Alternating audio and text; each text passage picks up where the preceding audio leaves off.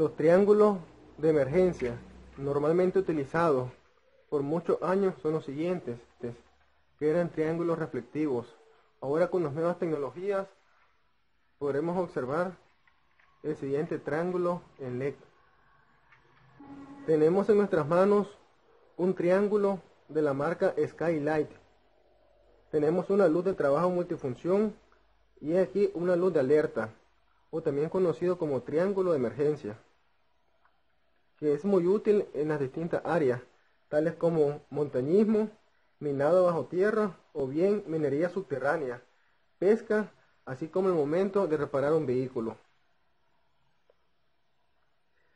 Podemos observar las letras C o B. Esto es relativo al tipo de LED. Podemos observar el centro del triángulo. Esta tecnología o este tipo de LED COB nos indica que hay un múltiple de LED en un mismo encapsulado o que se unen en un único módulo de iluminación. 500 lúmenes. Este número es la cuantificación del flujo luminoso emitido, es decir, indica la cantidad de brillo de la luz. Tenemos las siguientes características. Un interruptor, así como una interfaz de salida y entrada. Ahora tenemos las siguientes indicaciones de uso. Si presionamos el interruptor una vez, tendremos una luz fuerte de la LED COB. Si presionamos el interruptor dos veces o por segunda vez, tendremos una luz débil. Posteriormente, por tercera vez, una luz de advertencia. Por cuarta vez tendremos una luz de advertencia parpadeando y por quinta vez tendremos una luz de advertencia parpadeando lentamente y si después volvemos a presionar el interruptor la iluminación del triángulo se apagará. Ahora procederemos a abrir la caja.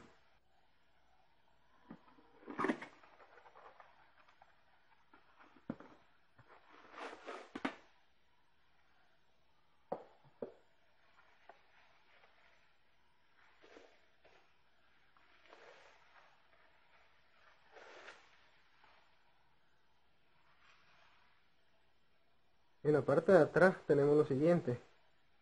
La interfaz mencionada anteriormente y tenemos este cable.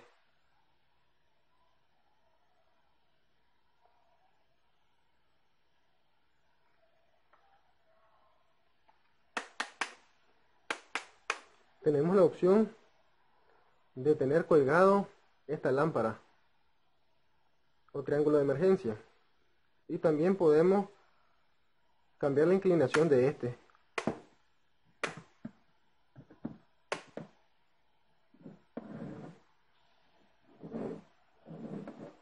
Ahora apagaremos la iluminación del entorno para probar este triángulo.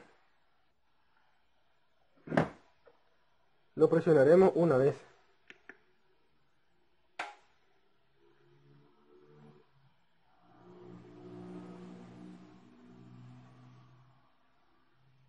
Por segunda vez. Por tercera vez. Por cuarta vez. Por quinta vez. Podemos observar la señalización que parpadea, pero de manera más lenta. Y por quinta vez se apaga. Encenderemos las luces le invito a suscribirse. Saludos.